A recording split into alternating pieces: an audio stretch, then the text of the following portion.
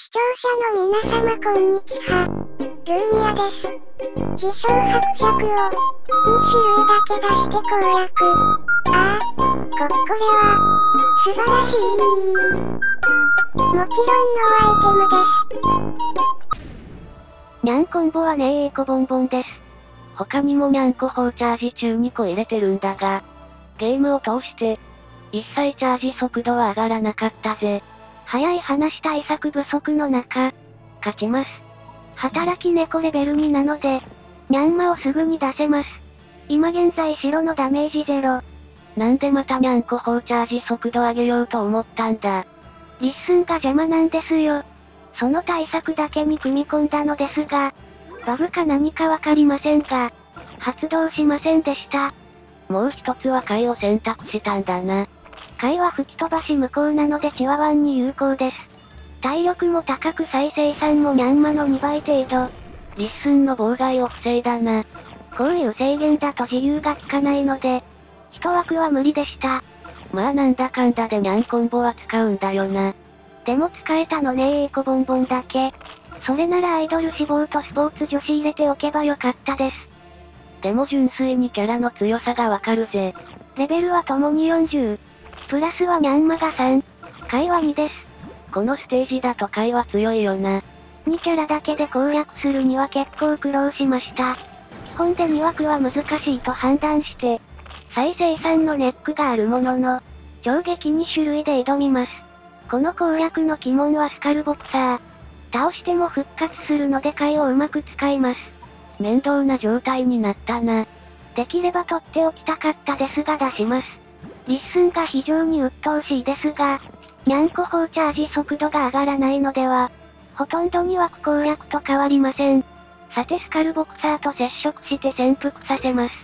チワワンの攻撃は受けてしまうんだよな。ここで貝を出してカンガルーに備えます。ニャンマももうすぐ出せるようになるので、貝で止めてニャンマで攻撃します。最初にスカルボクサーを倒して、ハサミーマンに手こずってるうちに、復活したスカルを叩きます。まずは1回目だな。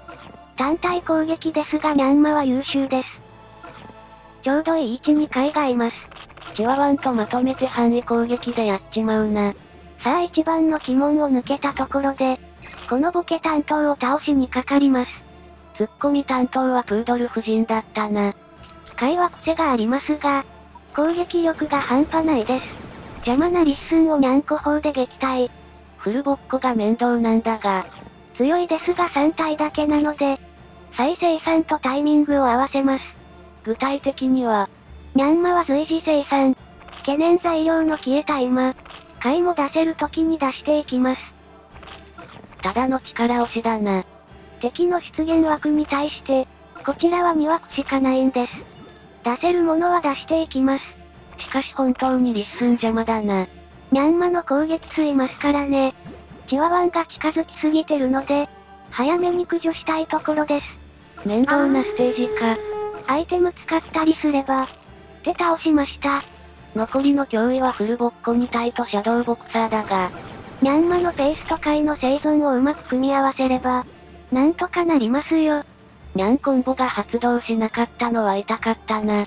1個だけ発動してるので、よしとしましょう。さああとは簡単。